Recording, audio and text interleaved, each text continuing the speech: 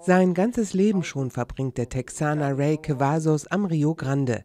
Seine Familie lebt davon, Wochenendhäuser zu vermieten. Von hier aus ist es nur ein Steinwurf nach Mexiko. Von einer Bedrohung durch Flüchtlinge will Cavazos aber nichts wissen. Wir erleben keine Krise an der Grenze. Nein, wirklich nicht. Wie man sehen kann, ist es hier ruhig. Es ist ein friedlicher Ort.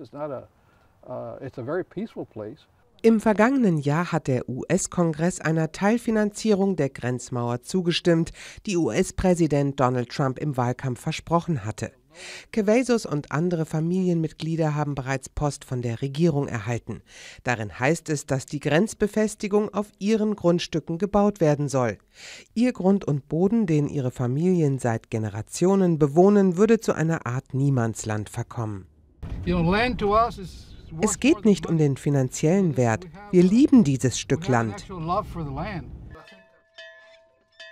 Ein paar Kilometer weiter steht diese 100 Jahre alte Kapelle. Auch sie könnte einer Grenzmauer zum Opfer fallen. Pater Roy will das um jeden Preis verhindern. Diese Mauer wird uns von der Kirche fernhalten und sie wird unseren Nachbarn symbolisieren, wir haben Angst vor euch und wir denken, dass ihr nichts Gutes vorhabt. Wir möchten nicht, dass ihr hierher kommt. Diese Botschaft ist ziemlich hässlich. The symbolism is pretty ugly.